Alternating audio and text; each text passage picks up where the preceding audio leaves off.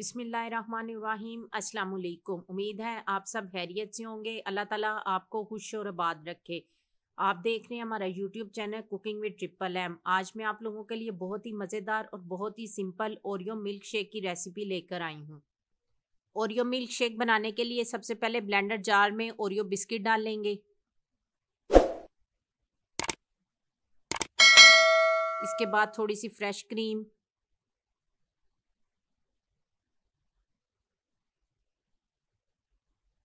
साथ ही चार चम्मच चीनी, एक चम्मच वनीला एसेंस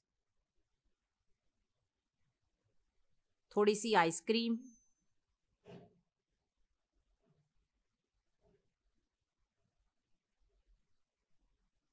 और एक लीटर दूध शामिल करके इसको ब्लेंड कर लेंगे।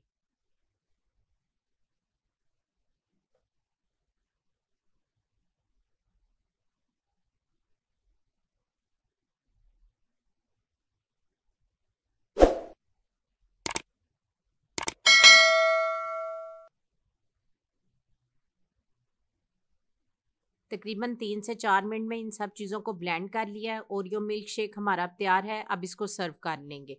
सर्व करने के लिए ग्लास को चॉकलेट सिरप के साथ डेकोरेट कर लिया है। इसमें ये मिल्क शेक ऐड करेंगे।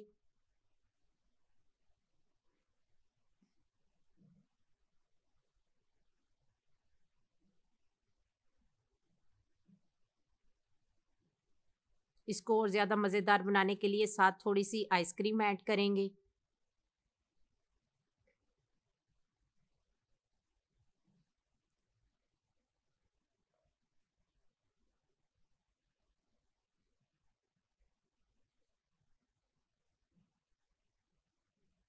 ऊपर थोड़े से ओरियो बिस्किट के छोटे छोटे पीसीस रखेंगे।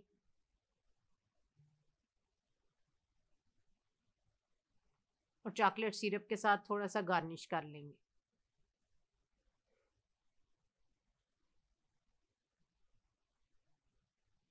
तैयार है जी हमारा मज़ेदार सा ओरियो मिल्क शेक आप भी इस रेसिपी को ज़रूर ट्राई करें।